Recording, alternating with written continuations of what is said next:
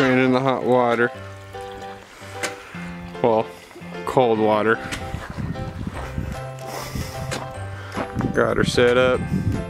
Gotta pull that guy out. See how big that thing is. Let me show you what the new one's gonna look like. It's in this box.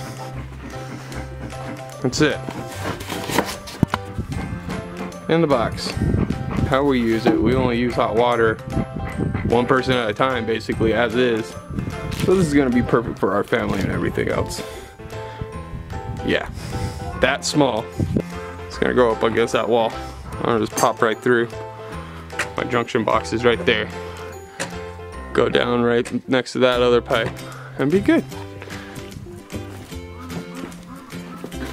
Okay, go get me uh, that little handsaw. You know what I'm talking about?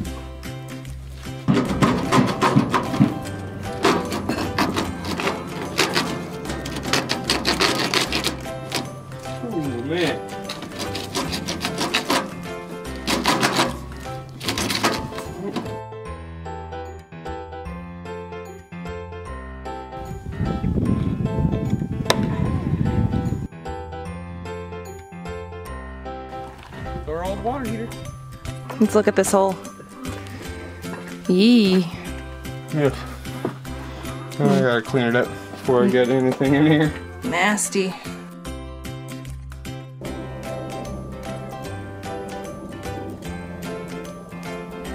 This is our old propane. It's off. I'm just taking this out of the way.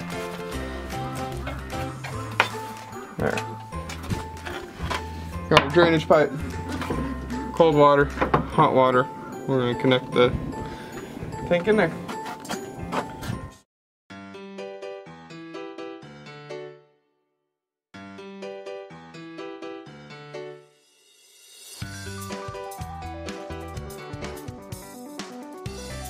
They say this is stronger than Teflon.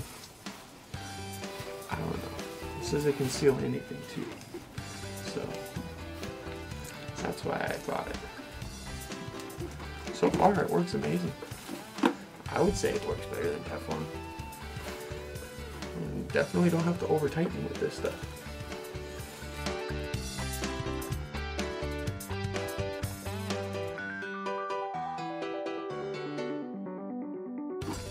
Sit up like that. Down. Down. Wada wada bing bang.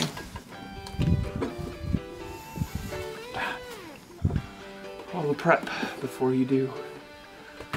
It's better to have the prep done and ready. Don't mess with anything.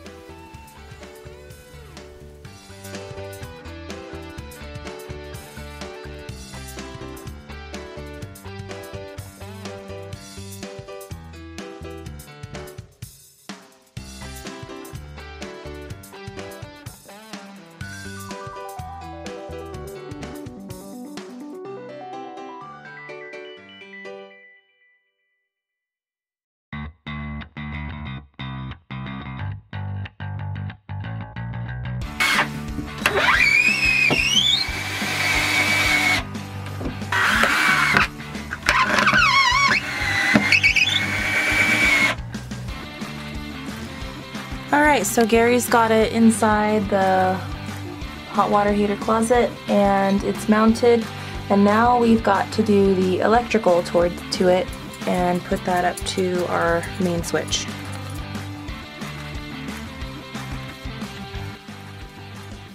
Oh, like I'm about to go grab my monkey wrench right now.